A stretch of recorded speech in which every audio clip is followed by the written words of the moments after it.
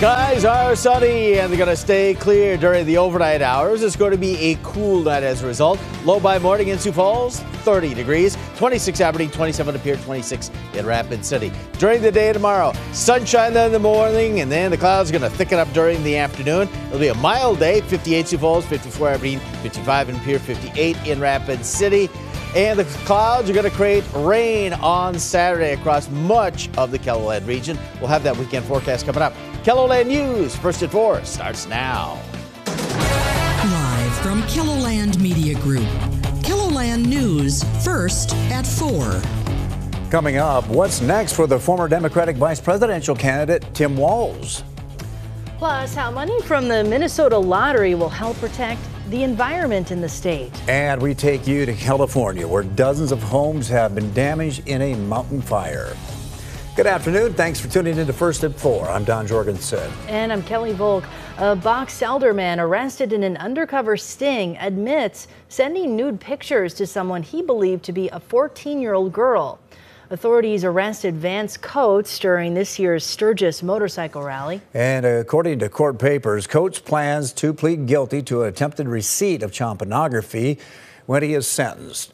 Coates faces a minimum of five years in federal prison. Under the plea agreement, he'll also be required to register as a sex offender. A Brandon man is behind bars in northwest Iowa after a high speed pursuit southeast of Larchwood. 32 year old Derek Wayne Vining was arrested for a list of charges, including theft, eluding, and reckless driving. The Lyon County Sheriff's Office says deputies were called to the area around 9 o'clock yesterday morning for a report of a suspicious vehicle. An SUV took off from the scene, reaching speeds over 100 miles an hour. The pursuit ended east of Rock Rapids. According to the sheriff's office, Vining's bond is currently $18,000. The Minnehaha County Sheriff's Office recently did alcohol compliance checks at several businesses across the county. In total, 43 businesses were checked, 41 of them passed. The two businesses that failed are Chaser's Bar and Buffalo Ridge Brewing. One person died and another was seriously hurt in a head on crash two miles west of Rapid City. The Highway Patrol says a 44 year old man was driving a car in the wrong direction on I 90 on Wednesday night and hit a pickup head on. The man driving the car died in the crash. The 56 year old man who was driving the pickup has life threatening injuries. All right, let's uh, turn our attention to our weather. I'm telling you, really nice out there right now. Yeah, we got some sunshine today, Jay. Yes, we did. And temperature warmed up a few degrees above normal for this time of year, and there's hardly any wind. Right now in Sioux Falls, we still have that blue sky out there. Temperature has just dropped to 52 degrees with a very light southwest breeze. And that's kind of what we have all across the KELOLAND region today. In Aberdeen, you can see the setting sun in the western sky there, 53 degrees with a southwest wind at 16 miles an hour. In Pierre, nothing but blue over the capital, 58.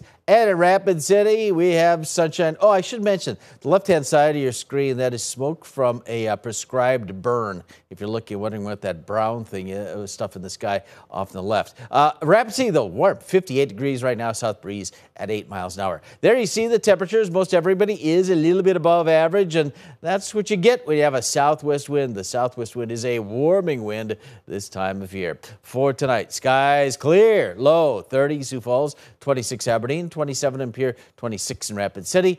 Tomorrow, sunshine in the morning. Then the clouds will thicken up from the southwest during the day. It'll be mild in Sioux Falls, 58 for that high. 54 in Aberdeen, 55 in Pierre, 58 degrees in Rapid City. I said those clouds will thicken up. We could be seeing some spotty showers late tomorrow night, but again, the best chance of rain, as we've been saying all week long, is on Saturday. Saturday looks cloudy and rainy and not as warm. We'll talk about that and look ahead to the rest of the weekend in just a few minutes.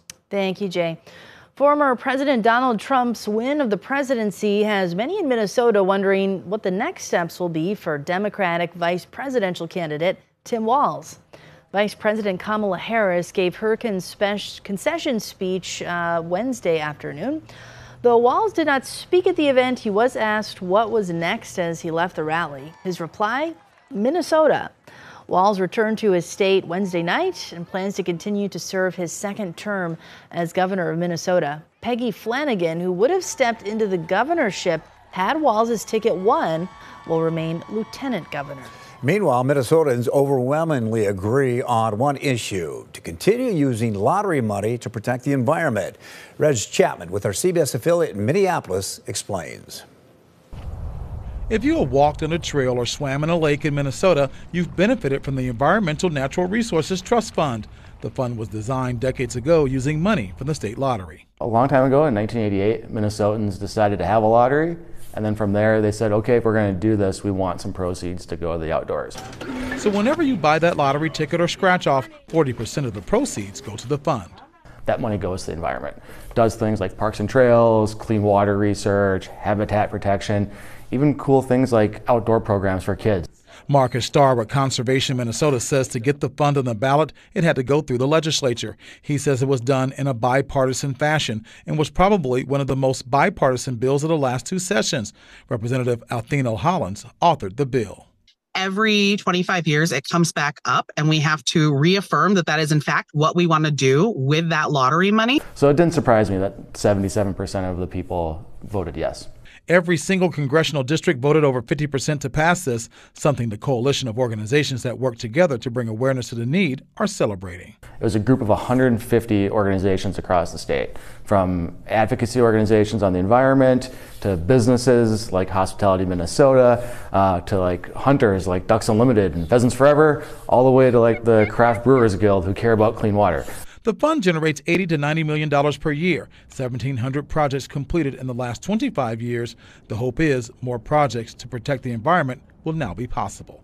Reg Chapman, WCCO News. Maintenance on the Superior Hiking Trail and the Dodge Nature Center in West St. Paul are examples of the projects completed with the money from the Lottery Fund.